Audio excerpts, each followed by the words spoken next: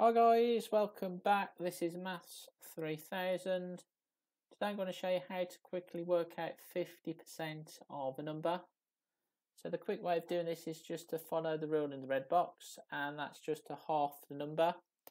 If you're having trouble with the halving, you can just divide by 2 using short division instead if you need to.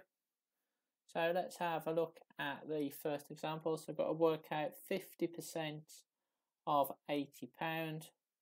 So we just need to half the 80. So half of 80 is 40 pound. Okay, so let's move on to the second example then. So we've got to work out 50% of 734 pound.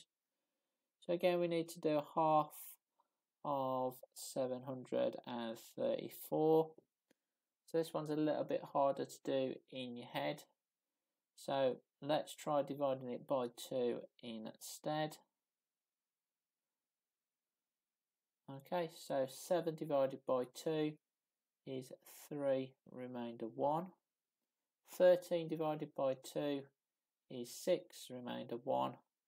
And 14 divided by 2 is 7 so half of £734 is £367.